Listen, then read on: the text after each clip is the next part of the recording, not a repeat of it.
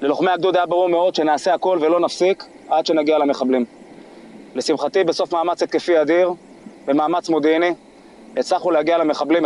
מכאן חשוב שידעו שנמשיך לעשות הכל ולא נפסיק, גם בהתקפה וגם בהגנה, כדי לשמור על השקט והביטחון בגזרה.